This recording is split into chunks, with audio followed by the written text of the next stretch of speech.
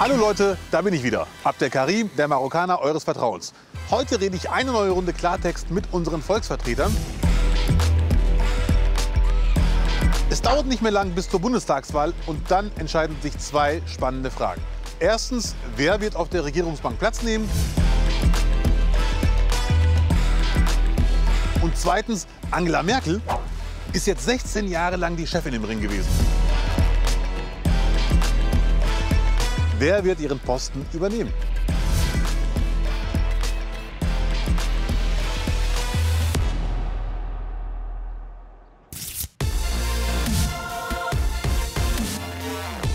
Heute müssen Politiker und Politikerinnen von CDU, AfD und den Grünen Menschen Rede und Antwort stehen, die von ihrer Politik direkt betroffen sind.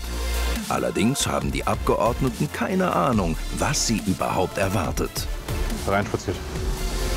Jana Schimpke von der CDU will die Hartz-IV-Sätze auch nach den Wahlen nicht erhöhen. Könntest du mit 320 im Monat klarkommen? Ich müsste es versuchen und würde vielleicht auch schauen, dass ich mir Hilfe von wo auch immer herhole.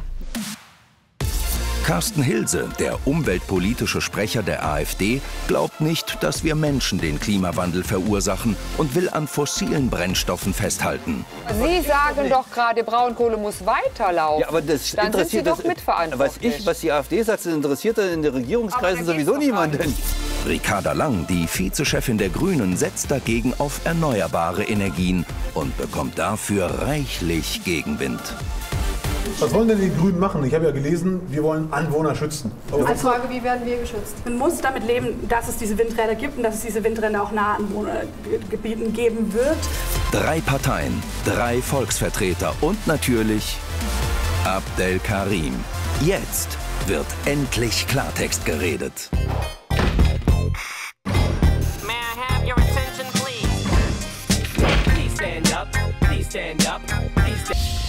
Die 58-Jährige hat 20 Jahre lang als Kranken- und Altenpflegerin gearbeitet. Dann bekam sie starke Rückenprobleme, wurde mehrfach operiert und musste ihren Beruf im Alter von nur 40 Jahren aufgeben. Noch immer kann sie sich ohne Schmerzmittel kaum bewegen. Auf dem Arbeitsmarkt hat Bärbel keine Chance mehr. Das ist eben dieses ja, Fordern und Fördern.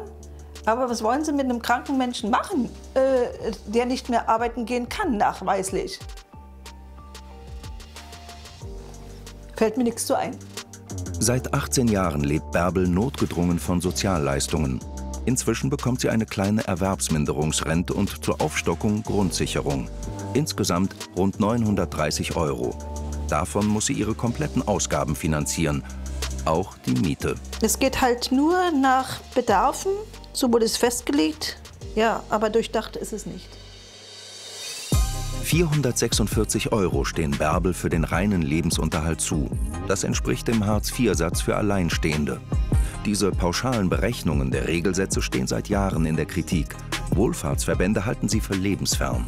Ein bisschen Spielraum, wenn ich was sehe, dass es ein, über den Bedarf hinausgeht, dass ich ein, ein, ein Buch kaufen kann, was mir gerade gefällt, ein Kleidungsstück, was auch immer. Da muss ich dann jedes Mal gucken, geht es in diesem Monat oder geht es anders? Ist krampfig.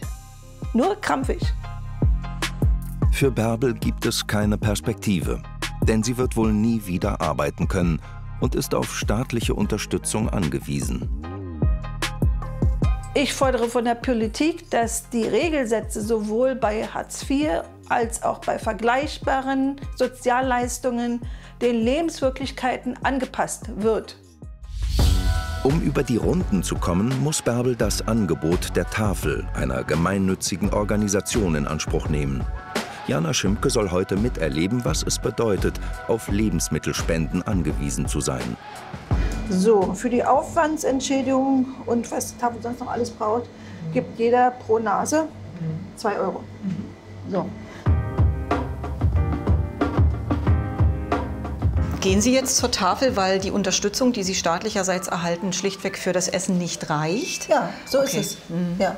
Ich habe auf anderen Seiten äh, so viel Ausgaben, dass es sonst zum Essen nicht reichen würde. Okay. Angelika Böck ist die Leiterin der Luckenwalder Tafel und arbeitet hier ehrenamtlich. Die Organisation versorgt regelmäßig 380 Menschen mit Lebensmitteln und finanziert sich über Spenden. Eine kurze Frage noch, wenn wir schon die Ansprechpersonen hier haben, die wirklich viele Menschen hier trifft. Kommen denn auch arbeitsfähige Menschen hierher, die keine Arbeit finden, obwohl sie arbeiten wollen? Ja, definitiv. Es kommen Leute in Hartz IV hierher, wo es schwierig ist, in der Kleinstadt oder so überhaupt Arbeit zu finden. Äh, Es kommen Alleinstehende hier, Alleinerziehende, viele Rentner, wo die Rente kaum reicht. Also es ist eine bunte Mischung hier. Und ich kenne es aus eigener Erfahrung, war selber mal in Hartz IV. Man lebt, aber leisten kann man sich nicht. Nee, auf keinen Fall. Du sagst trotzdem, Hartz IV soll nicht erhöht werden. Wie Hartz IV, die Hartz-IV-Regelsätze werden regelmäßig erhöht. Zuletzt im Januar 2021. Für Alleinstehende stieg der Regelsatz um 14 Euro auf 446 Euro pro Monat. Hartz IV ist ein Leben am Existenzminimum. Und deswegen ist ja unser Sozialstaat bei eben jenen Menschen, die auch noch erwerbsfähig sind, darauf so ausgerichtet zu sagen, ihr müsst wieder arbeiten gehen. Und ihnen kann man eben leider dann auch nicht so helfen wie jemanden, der im erwerbsfähigen Alter ist. Ja, Jana, das war Bärbel. Dein Eindruck? Eine Frau mit einem bewegten Leben, mit einigen Schicksalsschlägen. Es kommt vieles zusammen und es gibt keinen Ausweg. Das ist eben der Punkt. Ne? Nur wenn die Politik entscheidet, dass erwerbsunfähigen Menschen wie Bärbel ein anderer Bedarf zugesprochen wird, könnte ihr Alltag erleichtert werden. So Leute, es geht weiter. Jetzt bin ich in NRW, um der AfD auf den Zahn zu fühlen. Die haben ja einen Wahlslogan, Deutschland, aber normal. Was auch immer das heißen mag. Vor dem Kölner Dom studiert Abdel das Wahlprogramm der AfD. Ein Europa der Vaterländer. Wir wollen ein Land von Wohnungseigentümern werden. Mindestlohn beibehalten. Deutsche Leitkultur statt Multikulturalismus. Ja, da stehen viele Sachen, aber wer sich zum Thema Klimapolitik schlau machen will, der muss ganz weit hinten im Wahlprogramm schauen, nämlich auf Seite 173 von 207 Seiten. Hier steht nämlich, das Klima kann keinen durch den Menschen postulierten und schon gar nicht garantierten Bestandsschutz haben. Das Klima ist per se nicht schutzfähig. Man solle dem Klimawandel positiv begegnen. Für mich ist es halt ganz furchtbar, weil es könnte ja anders sein. Also man könnte ja auch einfach sagen, die Dörfer können erhalten bleiben und äh, die Kohle bleibt in der Erde, weil selbst diese Kohle ist ja auch für viele Dinge zuständig gerade. Die macht ja wirklich auch viel kaputt. Und ich frage mich da halt immer, warum reagiert da unsere Politik nicht? Also mit anderen Worten, das klingt für mich nach Vertreibung. Gut. Entwurzelung sowieso, ich würde Ja. sogar Vertreibung sagen. Ja. Ja. Das Problem ist, dass diese Regierung gleichzeitig aus der Kohle und aus Kernkraft aussteigen will. Selbst das IPCC, der Weltklimarat, Sie werden sich wahrscheinlich damit beschäftigen, sagt, ähm, Kernkraft wäre ein, äh, ein Modul quasi, um letztendlich ähm, Emissionen einzusparen. Das ist aber das, was die, was die Bundesregierung komplett ablehnt. Und wir sagen, wir werden in der Zukunft nicht daran vorbeikommen. Und wenn sie einfach ehrlich wären und würden sagen, okay, Kernkraft ist genauso oder, oder sogar sauberer als äh, Windmühlen zum Beispiel, äh, dann könnte man dieses Dorf sogar retten. Also ich persönlich würde sagen, ich lebe an diesem Tagebau. Ich habe einen Braunkohletagebau Ja, vor ja. der Haustür. Wir haben PV auf dem Dach und hier steht überall Windkraft. Von all den drei Sachen würde ich sagen, bin ich mit Wind und Sonne total glücklich. Ich würde weder Sie. neben einem Tagebau Sie. wohnen wollen, Richtig. noch neben einem, äh, neben einem Atomkraftwerk. Haben Sie auch mal mit denen unterhalten, mit den Dorfbewohnern unterhalten, denen Sie quasi 500 oder 600 Meter äh, davor eine Windkraftanlage hingestellt haben? Ich kann mir nicht vorstellen, dass Menschen lieber neben einem Atomkraftwerk wohnen wollen, Mhm. Okay. Mhm. als neben Windrädern. Und am Ende ist ja auch immer der Spruch der AfD und auch der Braunkohlelobby, die sagen, irgendwo muss der Strom ja herkommen. Das ist richtig. Da stimme ich grundsätzlich erstmal zu. das ist richtig. Aber wenn wir die Wahl haben zwischen Sonne, Wind, einer unkontrollierbaren Technologie und Braunkohle, dann bin ich mir sicher, wofür sich die Leute entscheiden werden. Und das wird nicht Atom sein und auch nicht Braunkohle. Was ist jetzt äh, Ihre Lösung? Einfach äh, die Braunkohlekraftwerke stilllegen und dann aber Strom aus Frankreich, aus Nee, Polen und aus Tschechien. Und ich kann einfach nur das Zitat wiederholen von Frau, von Frau Merkel. Wir machen uns lächerlich, von 2008, glaube ich. Wir machen uns lächerlich, wenn wir gleichzeitig aus Kern- und Kohlekraft aussteigen und dann aber Strom einkaufen, äh, der quasi genauso produziert wurde. Es macht kein anderes Land und es wird auch niemand uns folgen. Aber das stimmt ja Die- nicht. Spanien zum Beispiel steigt bis 2030, ist beschlossen, aus Atom und aus Braunkohle aus. Wenn Sie sagen, kein anderes Land macht das, stimmt nicht. Hm. Die- die Österreich und die Belgien ist schon aus Die Braunkohle Realität, die ausgestiegen. Realität Schweden hat das wird auch die, gemacht. Die Realität wird die einholen. Ich würde vorschlagen, wir gehen weiter rein und äh, schauen uns mal um, was hier bald alles weg ist. Von den rund 1500 Menschen, die einst in den Ortschaften rund um Kuckum lebten, sind nur noch knapp 700 übrig. David und seine Familie wollen hier nicht weg. Dafür kämpfen sie im Bündnis Alle Dörfer bleiben. Hier stehen super Häuser. Und ich frage mich wirklich, wie kann man da mit ruhigem Gewissen sagen, äh, wir plädieren dafür, dass die Braunkohle erhalten bleiben muss? Aber für Ihre jetzige Situation bin ja nicht ich zuständig. Ja, aber Sie sind ja dafür, Sie Ja, sprechen ja dafür, es- dass die Braunkohle Ja. erhalten Und bleiben hört- muss. Und hört- das ist ja meine hört jemand Situation. Auf uns, hört jemand auf uns in irgendetwas, äh, bei irgendeinem Thema? Niemand. Jeder Antrag, den wir stellen, egal wie vernünftig er klingt, Aber haben Sie schon mal einen Antrag gestellt, dass die Braunkohle doch bitte aufhören soll, unsere Dörfer wegzubaggern? und Sie meinen, wenn wir den Antrag stellen... dann Aber haben Sie es schon mal gemacht? Nein, natürlich nicht. Warum weil natürlich Weil er ein nicht? heimlicher Braunkohleverehrer ist. Ich bin kein heimlicher Ein offener. Braunkohle. Ich bin einfach ein Realist. Ich Aber- sage, ich, ich sag, das ist der einzige, der einzige Rohstoff, den wir in Deutschland haben, ist die Braunkohle. Also die bleiben. Sonne und Wind nutzen, wird nie äh, mithalten können mit. Äh, Wird es nicht. Nee. Für mich hat sich gezeigt, dass die AfD überhaupt nicht die Partei der kleinen Leute ist, sondern dass die AfD weiterhin bereit ist, Menschen für den Braunkohletagebau zu enteignen und ganze Dörfer zu zerstören und stattdessen lieber auf Kernkraft setzt, die es nicht gibt. Das ist für mich nicht wählbar. Eine Partei, die den Klimawandel ganz klar in den Mittelpunkt ihres Wahlkampfes stellt, sind die Grünen. Abdel hat sich mit der Vizechefin von Bündnis 90 Die Grünen in Baden-Württemberg verabredet. Heute bin ich im Süden unterwegs und ich treffe gleich Ricarda Lang. Das ist die hier. Sie ist stellvertretende Bundesvorsitzende der Grünen und sie kandidiert hier in Schwäbisch Gmünd für den Bundestag. Mit ihren gerade mal 27 Jahren gehört sie zu einer ganz neuen Generation junger Menschen, die ins Parlament wollen. Ein Windpark in Brandenburg. Direkt vor der Haustür von Matthias Nagler. Wenn ich die Windmühlen sehe, geht's noch. Hören ist eigentlich viel schlimmer. Ist definitiv eine Belästigung, besonders in der Nacht, wenn man schlafen will, weil die Windkraftanlagen extrem laut sind. Vor 18 Jahren wurden hier die ersten Windräder gebaut. In knapp 500 Metern Entfernung vom Haus der Familie. Und quasi über Nacht. Uns wurden die Windmühlen vor die Nase gesetzt, ganz eindeutig. Als wir 99 im Dezember eingezogen sind, drei Jahre später fingen die Bauarbeiten für die Windkraftanlagen an. Die kamen aus heiterem Himmel. Weder die Gemeindevertretung noch der Bürgermeister noch die Anwohner wussten, warum eine Raupe den Boden abschiebt. Und da bin ich mit dem Bürgermeister zusammen, mein Vater, der Bürgermeister und ich, wir sind da hingegangen und haben den Raupenfahrer gefragt, was machst du hier? Ich schieb für die Windmühlen. So sind die Windmühlen zu uns gekommen. Und sie sind laut. So laut, dass sie regelmäßig die erlaubten Grenzwerte überschreiten. Das Dezibel-Messgerät ist Matthias Naglers ständiger Begleiter. Der Grenzwert in der Nacht liegt bei 45 Dezibel. Und die 45 werden zum Teil überschritten bis zu 10 dB. Und äh, das Umweltamt war ja auch schon bei uns messen, direkt äh, am Schlafstubenfenster, da wo auch der richtige Messwert ist. Im Mittel sind sie so 7, 6, 7 Dezibel drüber. Ja. Familie Nagler fordert die Betreiber der Anlagen seit Jahren auf, die Grenzwerte einzuhalten. Das wäre mit Nachtabschaltung und Reduzierung der Drehzahl möglich. Aber bislang ist nichts passiert.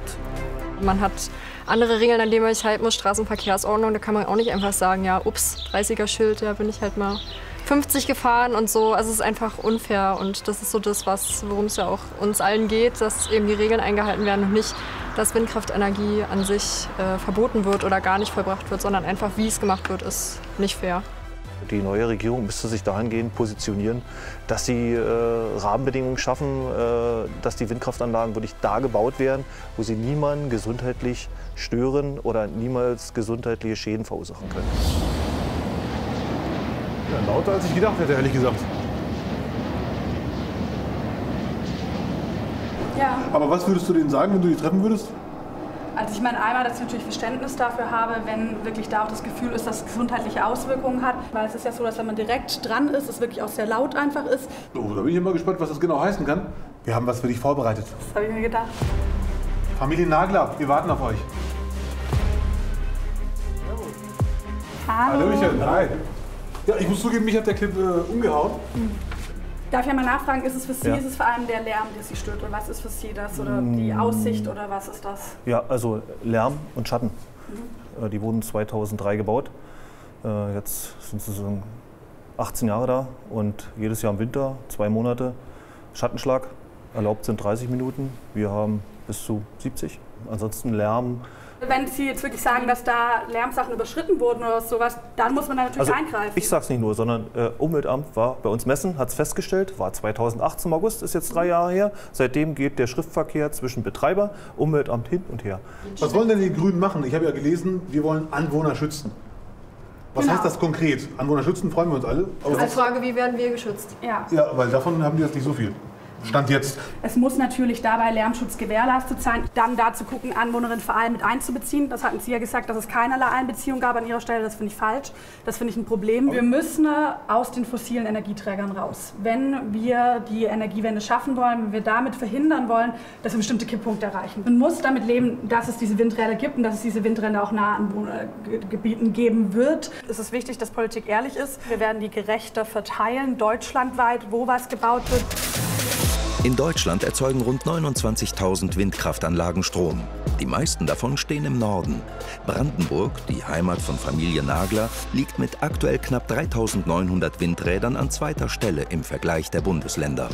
Was wollen denn die Grünen hinkriegen, was die bisherigen äh, Machthaber, Entscheider nicht hinbekommen haben, dass wirklich alle Bundesländer dafür Sorge tragen müssen? Weil ich, ich finde es echt ein bisschen unlogisch, dass äh, Baden-Württemberg 11 Millionen Einwohner, 800 Windräder, Brandenburg 2,5 Millionen Einwohner, Pi mal Daumen, 4000. Also das ist ja schon, das passt ja überhaupt nicht, hinten und vorne nicht. Wir wollen das verpflichtend machen. Verpflichtend? Also wir wollen tatsächlich, dass man sagt, unser Ziel ist 2% der Fläche und dann wollen wir, dass alle Bundesländer verpflichtet werden, Flächen dafür auszuweisen.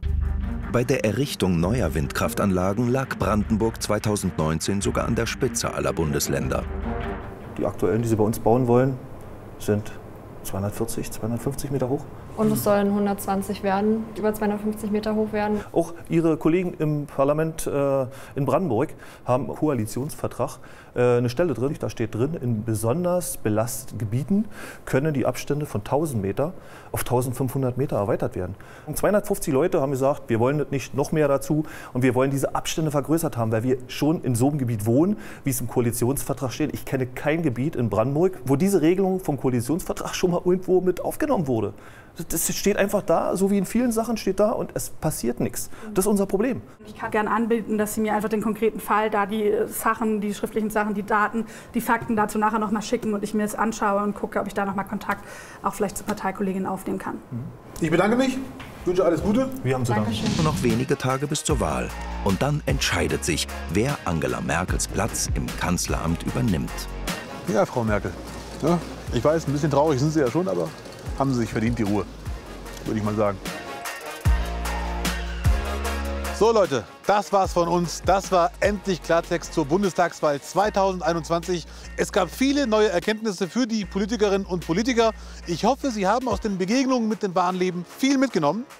Macht's gut, bleibt sauber, bleibt nett zueinander und ganz wichtig, geht wählen. Toni, wir können.